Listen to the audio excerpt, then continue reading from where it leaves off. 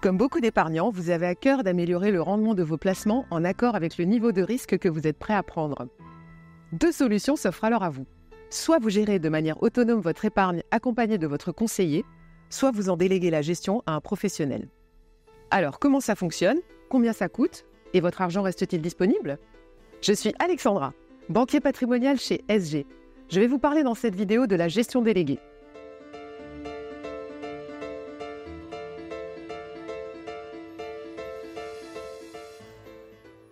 Je commence avec la question de Joseph qui nous vient de Mulhouse.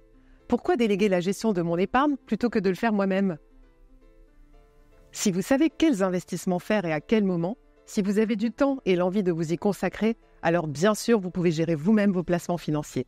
En revanche, si ce n'est pas le cas, la gestion déléguée peut être une bonne solution pour vous. Vous confiez ainsi la gestion de tout ou partie de votre épargne à un professionnel dont c'est le métier. Poursuivons avec la question de Rachid qui se demande si ce service est ouvert à tous.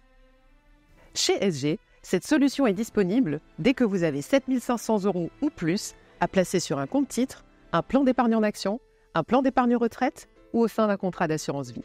Pour accéder à ce service, il faut avant tout réaliser un entretien avec votre conseiller. Il déterminera avec vous si cette solution est adaptée à votre situation patrimoniale et budgétaire, à votre appétence au risque et à vos objectifs et horizons d'investissement, à vos compétences financières et vos préférences en matière de finances durables. Votre conseiller vous accompagnera aussi dans le choix de la formule de gestion déléguée qui vous correspond, parmi les différentes formules proposées. Prenons la question d'Isabelle qui se demande comment ça fonctionne. En choisissant la gestion déléguée, vous confiez la gestion de vos placements financiers à un expert, le gérant de portefeuille. Il s'occupe de tout. Plus besoin de suivre vous-même les évolutions des marchés financiers et immobiliers, ni de passer des ordres d'achat ou de vente. C'est vous qui définissez les grandes lignes de votre investissement lors d'un entretien préalable avec votre conseiller, puis c'est le gérant qui prend les commandes de l'épargne confiée. Il s'appuie sur une analyse complète de l'environnement économique et financier. Il dispose d'une large gamme de produits pour investir votre épargne et la diversifier. Enfin, il vous informe régulièrement sur les actes de gestion effectués, la performance réalisée et le coût de la prestation pour permettre un suivi.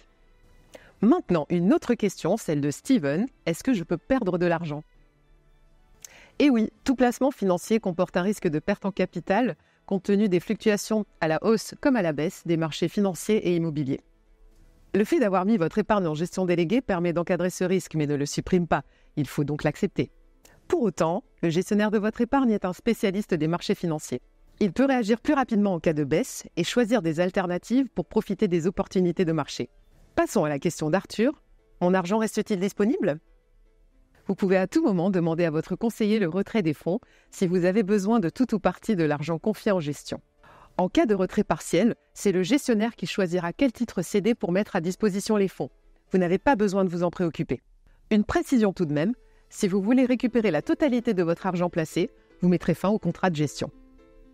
Enfin, dans le cas spécifique où le contrat mis en gestion est un plan d'épargne retraite, les retraits ne sont en principe pas possibles avant l'âge de la retraite. Intéressons-nous à la question de Sophie qui se demande si l'on peut changer de stratégie en cours de route.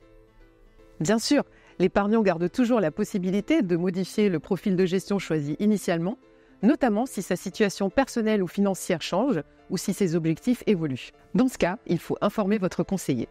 Il vous proposera un entretien épargne pour faire le point sur votre situation et il vous fera une nouvelle proposition adaptée à vos nouvelles préférences et à vos nouveaux besoins. Clémence nous interroge sur un point. Ce service est-il payant? Effectivement, ce service n'est pas gratuit. Déléguer la gestion de votre épargne à un expert de la finance occasionne des frais. Ces coûts seront indiqués sur la documentation contractuelle que vous signerez et vous seront rappelés chaque année. Chez SG, ce service est accessible dès 5 euros par mois.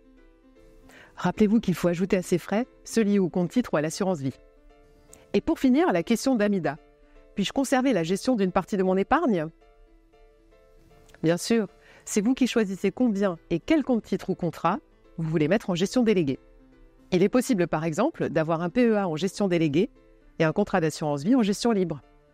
C'est déjà la fin de cette vidéo. J'espère que vous avez les idées plus claires sur la gestion déléguée. Merci de votre écoute et à très bientôt pour un nouveau sujet.